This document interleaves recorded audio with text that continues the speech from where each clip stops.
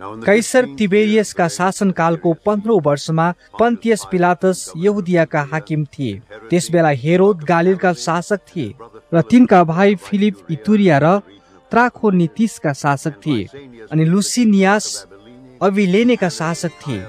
हन्नास र कैयाफाका प्रधान पुजारी गिरीको समयमा परमेश्वरको वचन उजाड स्थानमा जकरियाका छोरा युहुन्ना कहाँ आयो।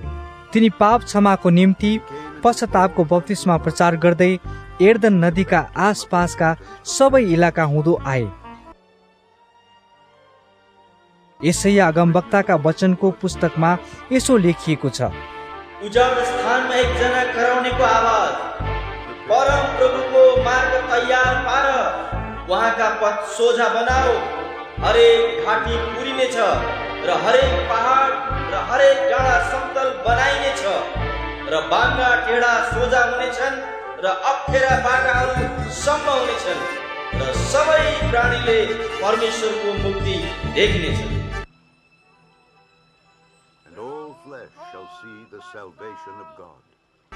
यसकारण तिनीसँग बत्तिसमा लिन आउने भिडहरूलाई तिनले भने बच्चा आइलाग्ने क्रोधबाट भाग्न तिमीलाई कसले चेतावनी दियो। यसकारण पश्चाताप सौद फल फलाओ र तिमीहरू आफै हाम्रा पिता अब्राम हुन् भन्ने पछि नलाग। किनभने म तिमीलाई भन्दछु परमेश्वरले यी ढुङ्गाहरूबाट अब्राहमको निम्ति सन्तान उत्पन्न गर्न सक्नुहुन्छ। अहिले वंश र रुखहरूको जरामा परिसकेको छ। यसकारण असल फल नदिने हरेक रुख फालिनेछ र आगोमा फालिनेछ। Bringeth not forth good fruit is hewn down and cast into the fire. मानिसहरूले यहुन्नालाई सोधे त्यसो भए हामीले के गर्ने तिनले उनीहरूलाई जवाफ दिए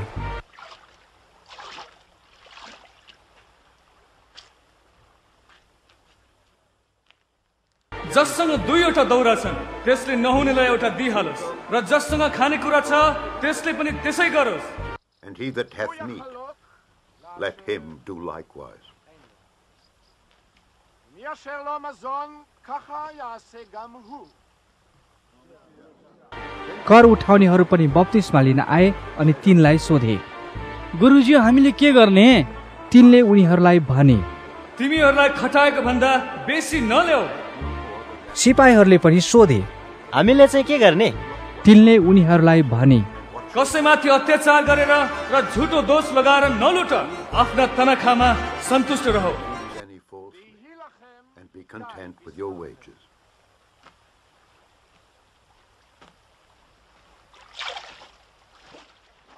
जब मानिसहरू प्रतीक्षा गरिरहेका थिए र सबै आफ्ना मनमा युहुन्नाको विषयमा सायद यिनी नै ख्रिस्ट हुन् कि भनी विचार गरिरहेका थिए तब युहन्नाले ती सबैलाई जवाफ दिए म तिमीहरूलाई पानीले बत्तिसमा दिन्छु तर एकजना म भन्दा शक्तिशाली आउँदै हुनुहुन्छ जसका जुत्ताका फित्ता खोल्ने लायकको म छैन उहाँले तिमीहरूलाई पवित्र हातमा र आगोले बत्तिसमा दिनुहुनेछ। निफन्ने नाङ्लो उहाँको हातमा छ जसद्वारा उहाँले आफ्नो खला राम्ररी सफा पार्नुहुनेछ र गहुँ आफ्नो भन्सारमा जम्मा गर्नुहुनेछ। तर भुस चाहिँ उहाँले नलिप्ने आगोमा जलाउनु हुनेछ यसरी अरू धेरै अर्थीहरूद्वारा शिक्षा दिएर युहुन्नाले मानिसहरूलाई सुसमाचार प्रचार गरे।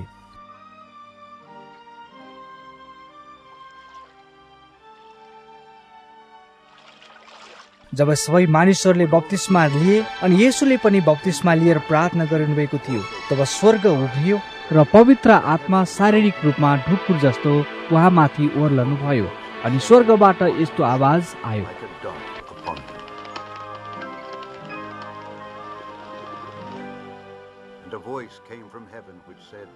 तिमी मेरा प्रिय पुत्र हौ तिमीसँग म प्रसन्न छु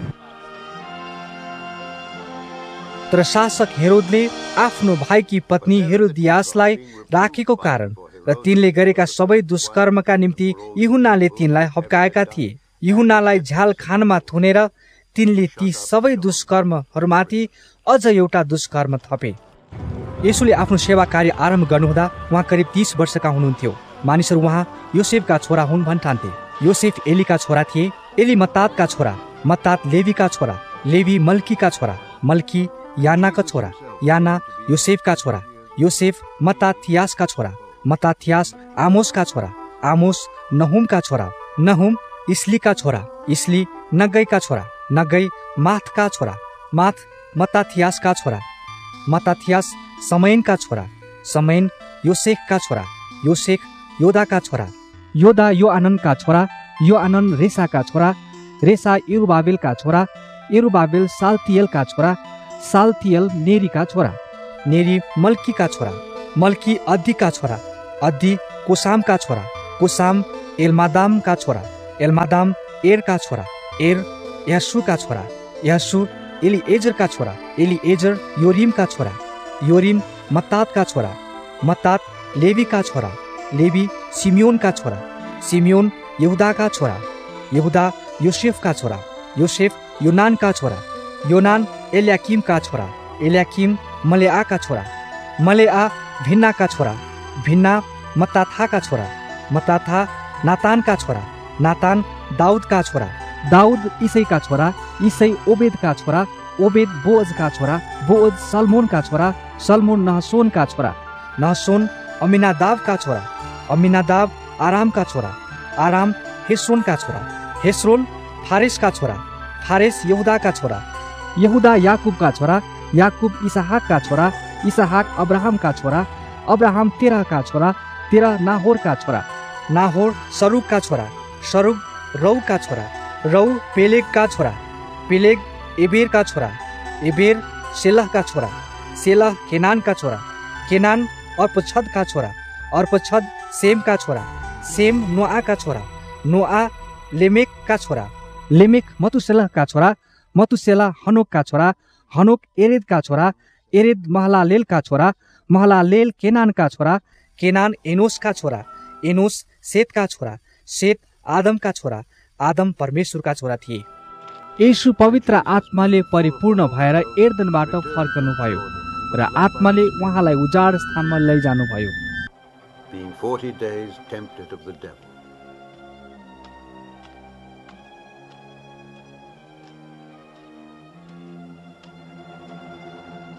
र चालिस दिनसम्म उजाड स्थानमा दियाबलसबाट उहाँ परीक्षित हुनुभयो।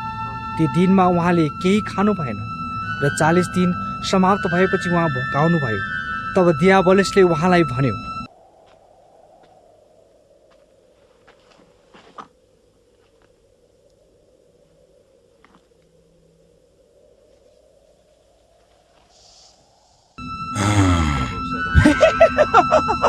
तपाईँ परमेश्वरका पुत्र हुनुहुन्छ भने यस ढुङ्गालाई आज्ञा गर्नुहोस् र त्यो रोटी बनोस्। यसुले त्यसलाई जवाफ दिनुभयो। लेखिएको छ मानिस रोटीले मात्र जीवित रहँदैन। त्यसले उहाँलाई एउटा उच्च स्थानमा लगेर एकै क्षणमा जगतका सबै राज्यहरू देखायो।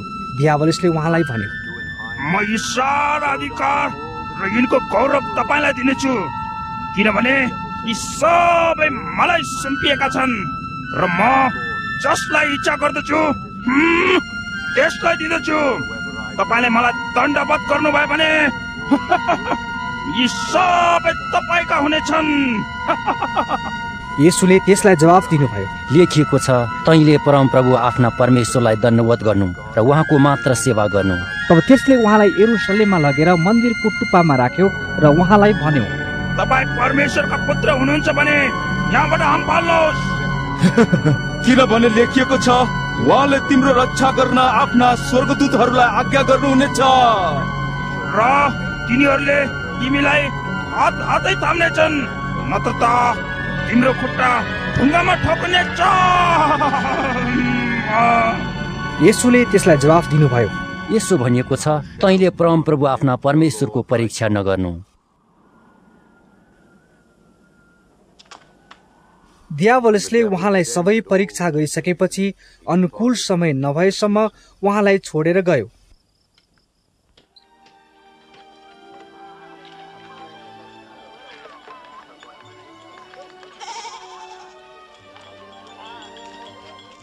यसु पवित्र आत्माको शक्तिमा गालिलमा फर्कनुभयो।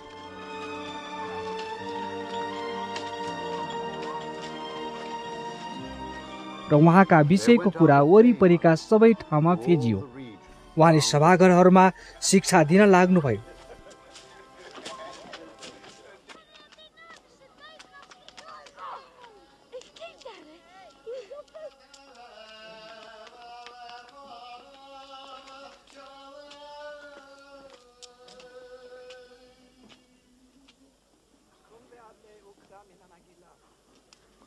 र सबैले उहाँको प्रशंसा गर्थे। उहाँ नासरतमा आउनुभयो। जहाँ उहाँ हुर्कनु भएको थियो उहाँ आफ्नो आदत अनुसार सभा दिनमा सभाघरमा जानुभयो र पढ्नलाई खडा हुनुभयो। उहाँलाई सैया अगमवक्ताको पुस्तक दियो। उहाँले त्यो पुस्तक खोल्नुभयो र यो कुरो लेखिएको खण्ड निकाल्नुभयो। परमप्रभुका आत्मा म माथि छ। किनभने गरिबहरूलाई सुसमाचार सुनाउनका निम्ति उहाँले मलाई अभिषेक गर्नुभएको छ। कैदीहरूलाई छुटकाराको घोषणा गर्न र अन्धहरूलाई दृष्टि दिन थिचोमिचोमा परेकाहरूलाई स्वतन्त्र गराउनका निम्ति र परमप्रभुका प्रसन्नताको वर्ष घोषणा गर्नका निम्ति उहाँले मलाई पठाउनु भएको छ। उहाँले पुस्तक बन्द गर्नुभयो र एकजना सेवकलाई दिएर उहाँ बस्नुभयो। सभाघरमा भएकाहरू सबैको नजर उहाँमाथि पर्यो। तब उहाँले तिनीहरूलाई भन्नुभयो आज धर्मशास्त्रको यो वचन तिमीहरूले सुन्दा सुन्दै पुरा भएको छ। सबैले उहाँको सराहना गरे र उहाँको मुखबाट निस्केका कृपा पूर्ण वचनमा छक्क परे र तिनीहरूले भने यिनी योसेफका छोरा होइनन् र? उहाँले तिनीहरूलाई भन्नुभयो। निसन्देह तिमीहरूले मलाई यो उखान भन्नेछौ। ए वैद्य आफैलाई निको पार। कफानुहुमा तिमीले जे जति गर्यौ भनी हामीले सुनेका थियौँ ती यहाँ आफ्नो सहरमा पनि गर। अनि उहाँले भन्नुभयो साँच्चै म तिमीहरूलाई भन्दछु कुनै पनि अगमवक्तालाई उनको आफ्नो देशमा स्वागत हुँदैन। तर वास्तवमा म तिमीहरूलाई भन्दछु इसरायलमा एलियाको समयमा धेरै विधवाहरू थिए। त्यस बेला जब साढे तिन वर्ष वृष्टि रोकियो यहाँसम्म कि सारा देशमा ठुलो अनिकाल परेको थियो। तर एलिया सिदोन देशको सारपथमा भएकी एउटी विधवा कहाँ मात्र पठाइए? अरू कसै कहाँ पठाइएनन्? एलिसा अगमवक्ताको बेलामा इसरायलमा धेरै कुष्ठरोगीहरू भए तापनि सिरियाली नामान मात्र निको पारिए अरू कोही निको पारिएनन् यी कुरा सुनेर सभाघरमा भएका सबैजना रिसले चुर भए तिनीहरू उठे र उहाँलाई सहरबाट बाहिर निकालिकन जुन पहाडमा तिनीहरूको सहर बनाइएको थियो त्यसैको टाकुरामा लगेर उहाँलाई तलतिर खसालिदिन खोजे तर उहाँ तिनीहरूका बीचबाट छिरेर निस्कि जानुभयो went on his way.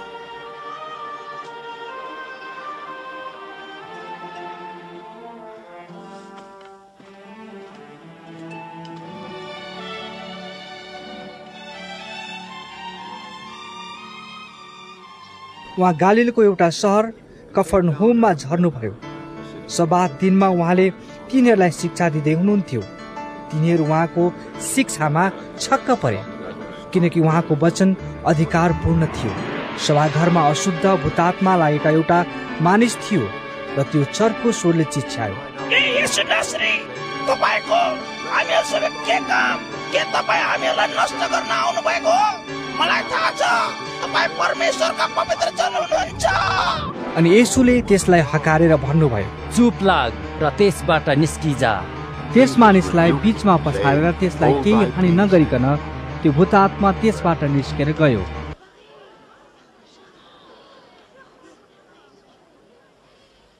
And when the devil had thrown him in the midst, he came out of him and hurt him not.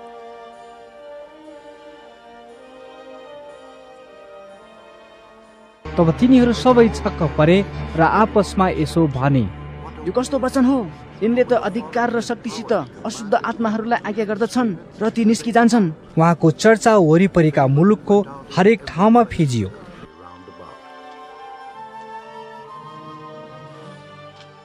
सभाघरबाट निस्केर उहाँ सिमोनको घरमा पस्नुभयो।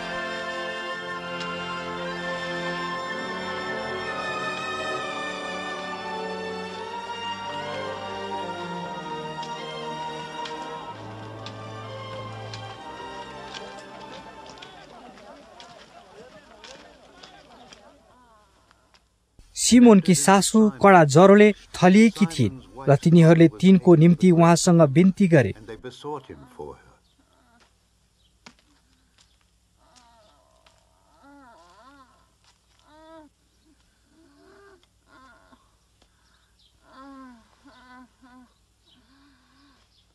तिनको नजिकै उभिएर उहाँले ज्वरोलाई हकार्नुभयो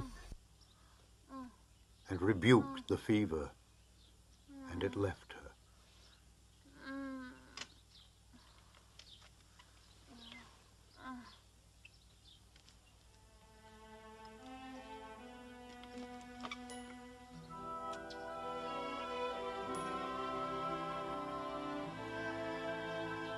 र ज्वरोले तिनलाई छोडिहाल्यो र तुरन्तै उठेर तिनले उहाँहरूको सेवा गरिन्।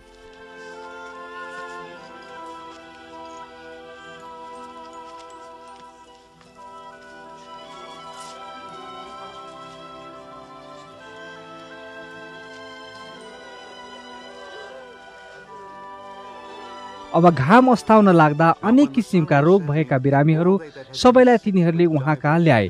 उहाँले तिनीहरू हरेकमाथि आफ्ना हात राखेर तिनीहरूलाई निको पार्नुभयो। धेरै मानिसहरूबाट भूतहरू पनि चिच्याउँदै र यसो भन्दै निस्के। तर उहाँले तिनीहरूलाई हकारेर बोल्न दिनु भएन। किनभने तिनीहरूले उहाँ ख्रिस्ट हुनुहुन्छ भनी चिन्थे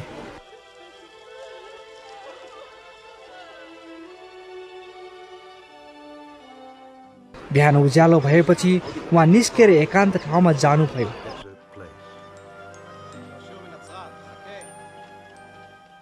भिडहरू उहाँलाई खोज्दै उहाँका आइपुगे र हामीहरूलाई छोडेर नजानुहोस्। भरि उहाँलाई रोक्ने प्रयत्न गरे तर उहाँले तिनीहरूलाई भन्नुभयो मैले परमेश्वरका राज्यको सुसमाचार अरू सहरहरूमा पनि सुनाउनै पर्छ किनकि म यसैको निम्ति पठाइएको हुँ।